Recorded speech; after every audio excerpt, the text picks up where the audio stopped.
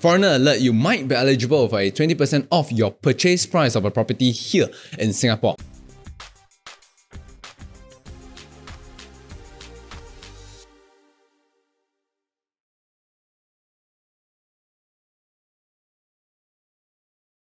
Hi everyone, my name is Casey from Home Quarters and at Home Quarters, we specialize in customized marketing strategy to properly expose your unit for sale.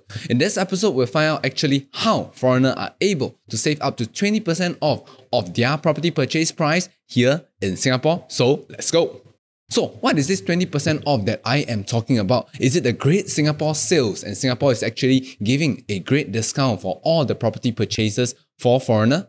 Not so. In this case, I'm actually talking about the 20% off, which is the additional buyer stamp duty that typical foreigner need to foot above the purchase price of the property. However, five countries around the world are able to enjoy a remission for this additional buyer stamp duty, and they are enjoying the same treatment as that of Singaporean when they purchase a property in Singapore. Let's list down what are the different countries that are under the respective free trade agreement, they are able to enjoy such treatment.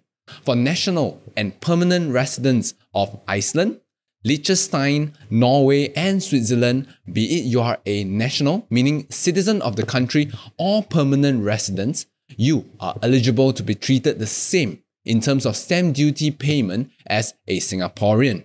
Right, secondly, if you are a national of the United States of America, meaning you are a citizen of the United States of America, then you are also eligible to be treated the same way as Singaporean when you are purchasing a property here. So why is this so? This is because free trade agreements from the Ministry of Trade and Industry Singapore website, we quote, Singapore has an open economy which is driven by trade in goods and services.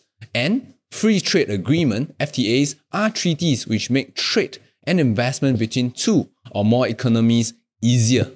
Also, with FTAs, Singapore-based exporter and investor stand to enjoy a myriad of benefits such as tariff concession, preferential access to certain sector, faster entry into markets and intellectual property protection.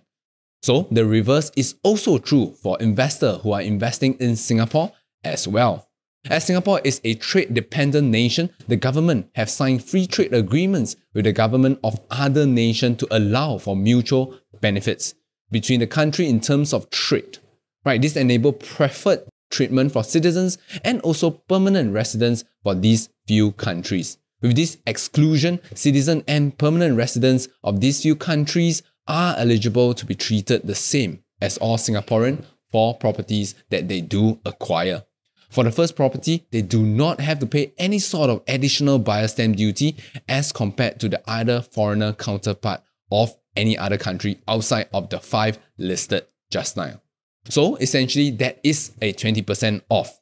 So that's the end of today's episode. Hope you find this information useful and helpful to you. So if let's say you are either a national or permanent resident of Iceland, Liechtenstein, Norway, Switzerland, and the National of United States of America.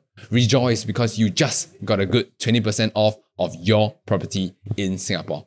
This is the end of the episode. Do follow us on all our social media platforms. You can find us at Homequarters SG on Facebook and Instagram. And if you are watching this on YouTube, do hit the like and subscribe button and also the bell that comes after the subscribe button to be notified of the newest video where it comes live. Thank you and see you on the next episode.